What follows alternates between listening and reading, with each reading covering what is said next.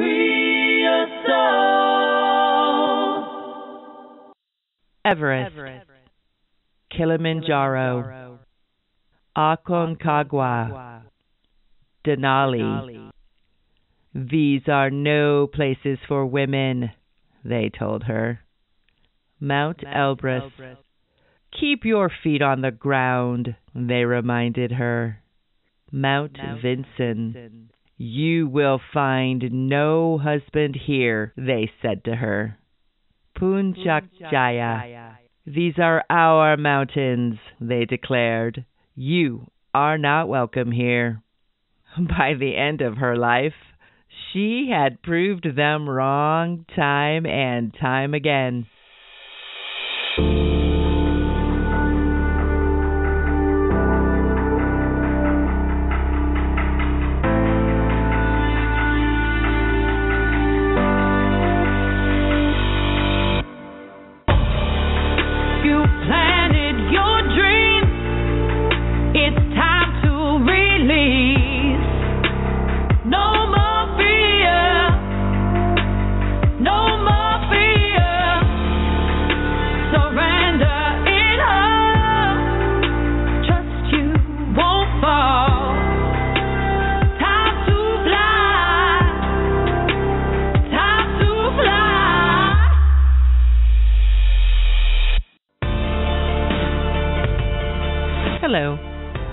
Welcome to the Aquitaine Project, a podcast that invites you to step into the light of some pretty remarkable women and learn a little, grow a little, laugh a little, and shine a lot. I'm Marlo Mead, your host, guide, and fellow traveler on a journey where together we draw upon the lessons, wisdom, and experiences of women past and present. Women I affectionately call my bright lighters. Each episode, I'll bring to light their stories, voices, and legacies, inspiring each of us to become bright lighters in our own right. For me, these women transcend time, teaching us lessons we can use in our own lives each and every day. Shining their light from different centuries, cultures, and corners of the earth, they light the way, making it possible for each of us to create our own light and shine it forward. Free your soul. To walk among the clouds and stand atop the world is no small feat. To do so in the face of sexism and extreme pressures to conform to cultural norms takes a special kind of willpower and determination. In May of 1975, a petite, unassuming Japanese woman laced up her climbing boots for the millionth time and set herself on a path no woman before her had ever traveled. Years of planning, preparing, and dreaming led her to this place in time. She had been all over the world and climbed many mountains, but this mountain called to her. This mountain spoke to her spirit. This mountain, the tallest in all the world, was her destiny. But destiny would have to wait. There is a saying in Japan that goes like this The nail that sticks up will be hammered down. Such is the fate of women not just in Japan, but around the world who dare to strike out on their own and choose their own paths. My bright lighter this episode embodies the determined spirit, that tenacious voice inside that urges us to forge our own paths and do what we set out to do, no matter the odds, no matter the obstacles, no matter what. No, it's not easy. Yes, there will be haters, dream killers, doubters, and naysayers, but to get to where we want to go, accomplish what we want to accomplish, reach our goals, make our dreams our reality, we must rise above the noise, silence our critics, especially the ones in our own heads, go under, over, and around whatever gets in our way. We've got to have confidence in the road we choose and in our ability to follow that road to where we want it to take us. We all know the saying, A journey of a thousand miles begins with a single step. So, let's step into the light of this high climbing woman and see what we can learn about our own journey. When 10 year old Junko Tabei went on an overnight hiking trip with her classmates, she discovered a whole new world. Standing on the top of Mount Nasu in her hometown of Fukushima, Japan, she fell in love with the feeling of being high above the town, free, happy, one with nature and the mountain. It was an experience she would never forget, and one that would lead her to become the first woman to climb the highest, most challenging mountains in the world. For a girl growing up in early 20th century Japan, adhering to very specific gender roles was the expectation. Women were, and in certain areas still are, expected to get married, have children, and become homemakers. Going to college and working in traditional female jobs, such as teachers or nurses, was also expected. But climbing mountains? Out of the question. Dreams of adventure were not appropriate for young Japanese women. Undeterred by these social pressures, Junko continued to climb while she was in college. The mountains were where she discovered her true self, where she was most free. Early in her climbing career, Junko faced quite a few sexist attitudes. It was the 1960s, after all, and mountain climbing was still a man's world. After graduating, she joined several mountaineering clubs in search of climbing partners and opportunities to join expeditions. Many of the men in the mountain club actually refused to climb with her. There were a few older climbers who were more supportive, but most believed Junko wasn't really interested in climbing expeditions. She was on a husband hunting expedition. Now, ladies, I know some of us have gone to some pretty extreme lengths to find a man, but climbing thousands of feet in the air, carrying a heavy backpack filled with ropes and carabiners, trying not to die and look sexy doing it, not the safest or most efficient way to find a husband. Or was it? By the mid 60s, she had climbed all of Japan's highest mountains, including Mount Fuji, and wouldn't you know it, she just happened to meet her husband, Masanobu Tabei, a renowned mountaineer in his own right, on one of her more dangerous climbs. I guess she knew what she was doing after all. Her family disapproved of Junko marrying this man because he did not have a university degree, but once again, Junko refused to let others determine the course of her life. She had found a man who shared her passion for the mountain and who years later would fully support her decision to give up her day job as a teacher so she could focus on climbing full time. He would stay home and take care of the children. Head to the hills, sisters, if you want to find a man like that. Tired of butting heads with conservative Japanese ideas about the place of women in society? Remember the hammer and the nail? Junko founded her own mountaineering club, and in 1969, the Joshi Tohan Club for Women was born. I absolutely love this club motto. Let's go on an overseas expedition by ourselves. Did you hear that, fellas? A group of women flying, or should I say climbing, in the face of convention, came together to forge their own paths up the mountains, and you better believe there was some pushback from the good old boys club. This all woman club was often criticized, and finding sponsorships was very difficult. Do you think that stopped this intrepid band of mountain climbing women? Absolutely not. Junko refused to sacrifice her dreams on the altar of sexism and misogyny and led the very first all women ascent to Annapurna 3, a 24,747 feet tall mountain in Nepal. Let me repeat that.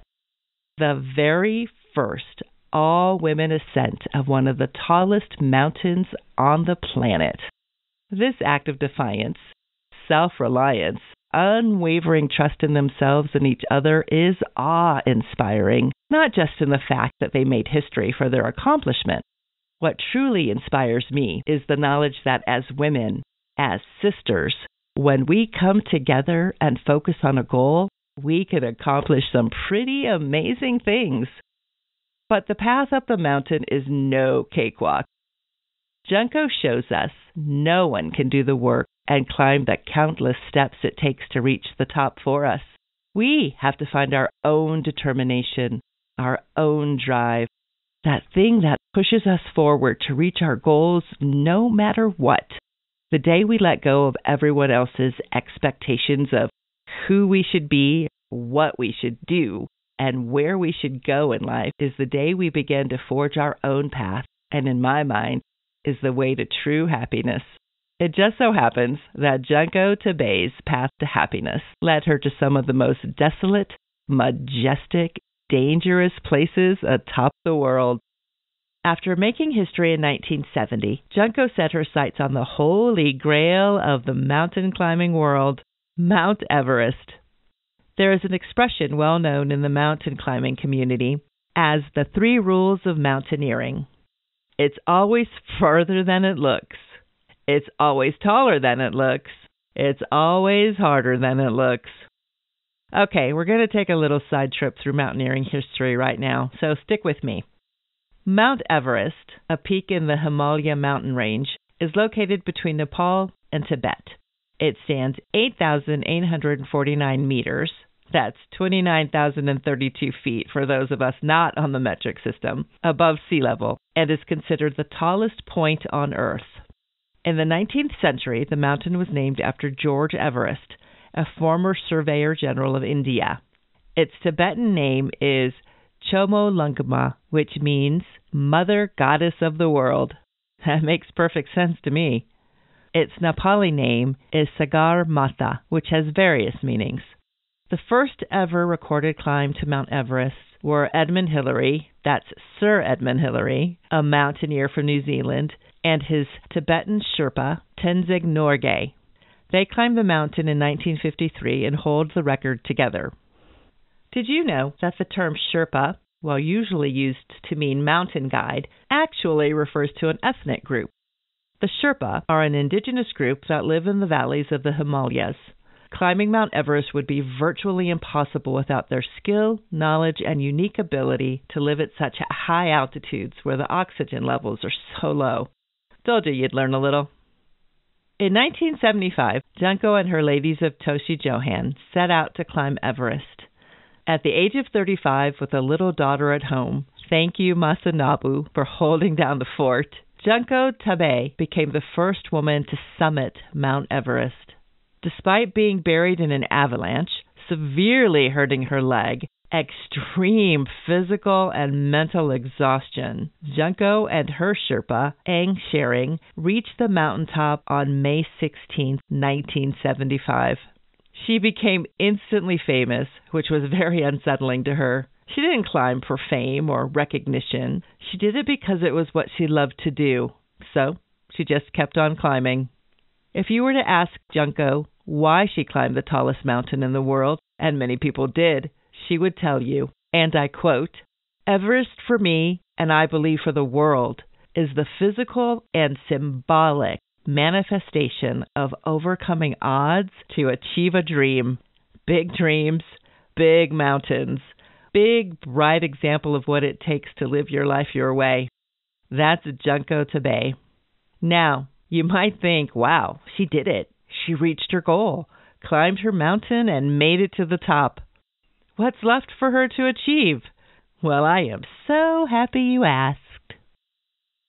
After her world famous climb of Mount Everest, Junko continued doing what she loved, and by 1992, she accomplished another first. Junko Tabei became the first woman to climb the highest peaks on all seven continents. Known as the Seven Summits, Kilimanjaro in Africa, Aconcagua in South America, Denali in North America, Mount Elbrus in Europe, Mount Vinson in Antarctica, Puncak Jaya in Australia, and of course, Mount Everest in Asia. These mountains, each ecologically diverse and uniquely challenging, may have required different preparation, different approaches, and strategies. But what stayed constantly true for Junko was her determined belief that her path up each and every mountain would lead to her goal the fulfillment of yet another dream and the joy she found in the life she chose. Forging our own path through life is a unique proposition. No two people are alike, and as such, no two paths are the same. What I've learned from Junko Tabei, and by extension, the women of Futoshi Johan Women's Club, is the determination and willpower it takes to climb a mountain is the same determination and willpower it takes us to achieve our goals and create the life we want. I have found for me personally that if I stop, take a breath, and listen to my own intuition and inner guidance, I can feel which direction is right for me. Am I always right? No, but trusting your gut is a skill. You can work on it, you can develop it, and the more you practice it, the more you trust it. Finding the courage to trust it is the key. But there are some practical steps we can take to create our way in the world and keep ourselves on track. Here are a few that I've used, and they may help you.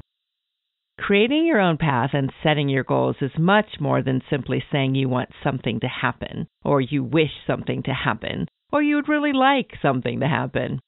Unless you clearly define exactly what you want and understand why you want it in the first place, your odds of success could be pretty limited. So, here we go. 1. Write down your goals and dreams. Let's face it, we can daydream and fantasize till the cows come home, but until we have clarity on what we want to achieve, accomplish, or create in this life, it's hard to create the path to get there. Take time to write it all down.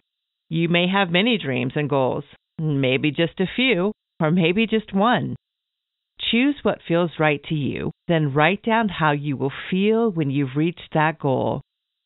Let's say one year from now you want to become a VP at your current company, or you want to apply to law or medical school.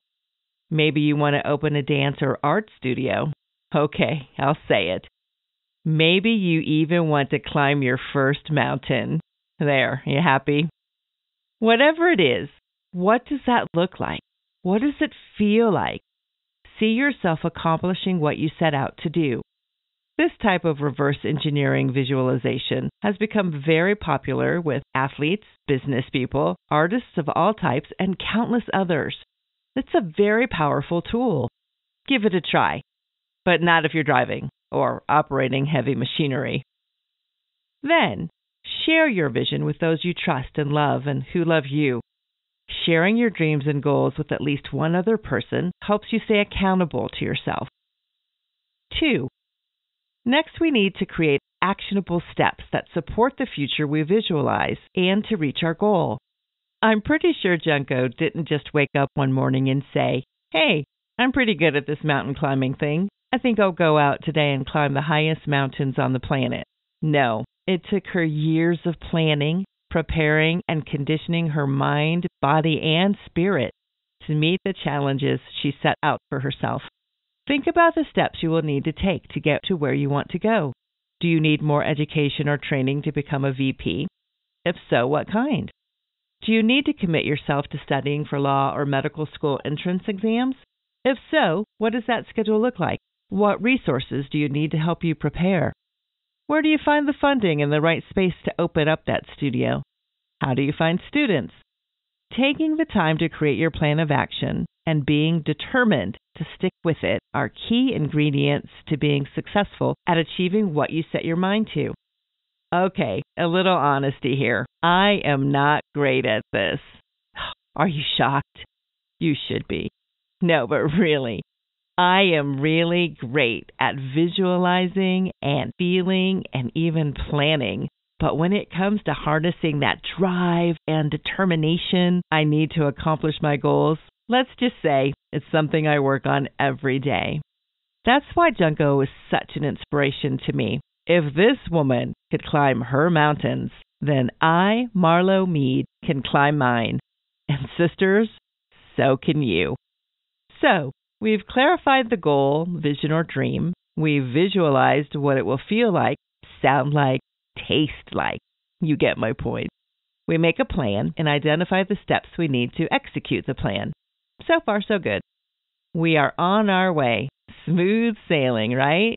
Well, step three. Remember earlier when I spoke about the haters and the dream killers and the naysayers? Those people who disapprove of your choices or think they know better than you what path you should be on, or flat out tell you your dream is impossible and you'll never reach your goals. These people have got to go. Stop listening to them. Tune out the noise.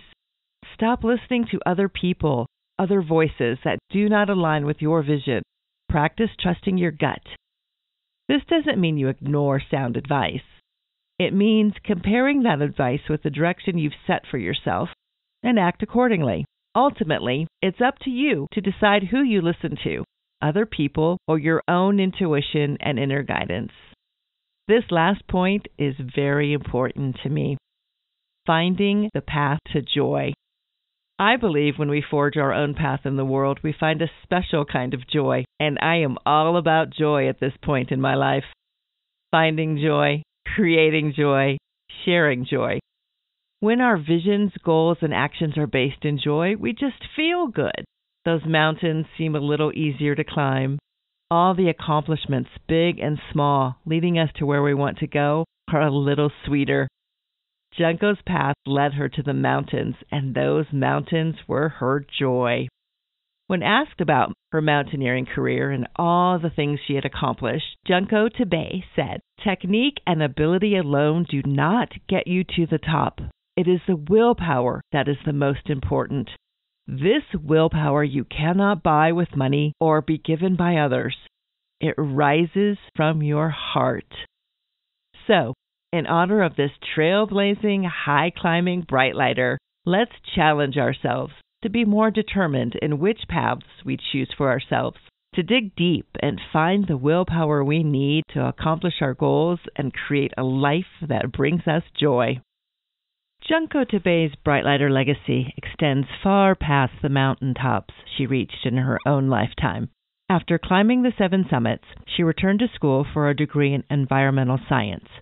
Experiencing firsthand the negative effects of the type of tourism that had developed on Mount Everest, she wanted to protect the mountains she loved and became the head of the Himalayan Head Trust of Japan. In 2012, she was diagnosed with cancer, but she refused to give up her dream of climbing mountains in every country. She just kept on climbing. In July of 2016, Junko led a group of young people from her hometown on a climbing expedition to Mount Fuji. Sadly, she died three months later. Her legacy of courage and determination lives on to light the way for all the women climbers who came after her, especially those whose path also led them up the tallest mountain in the world, Mount Everest.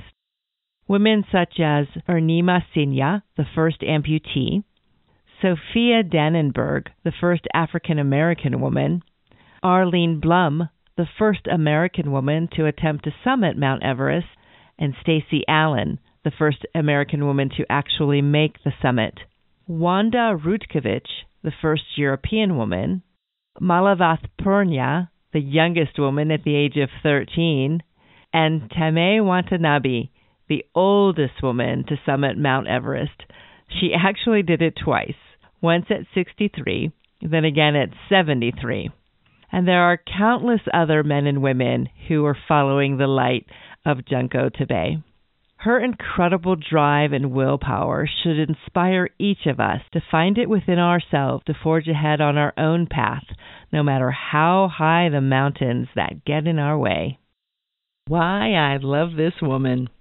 If you Google Junko Tabei, you will find numerous articles, stories, and interviews about her life and accomplishments, all of them recounting her early life in Japan, her historic ascent of Mount Everest and the Seven Summits, her contributions to women in the world of mountain climbing, and finally her dogged determination to continue climbing right up until her death.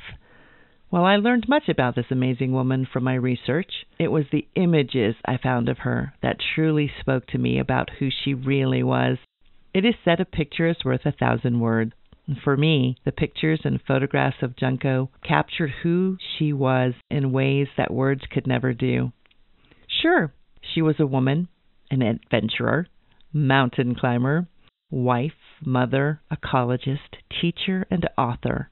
But if you take a deeper look, you see humility, humor, passion, iron hard determination and willpower, and an incredible sense of joy. There is a photo of her that accompanies her final interview before her death. You can find the link on the podcast website. She is the picture of a true bright lighter, and the pure joy on her face will melt your heart. Her smile says to me, Look at me, high above the ground, clinging to rocks, making my own way. I am happy here. This is the path I chose. This is my joy, and I am happy here. What a remarkable life. What a remarkable woman. She lived life on her own terms, created her own path, and left a shining example for us of how willpower and determination and an unwavering belief in ourselves and the path we choose can get us to the top of our own mountain. So, what joys will you discover as you forge your own path in this world? Please feel free to share and connect with me at theaquitaineproject.com.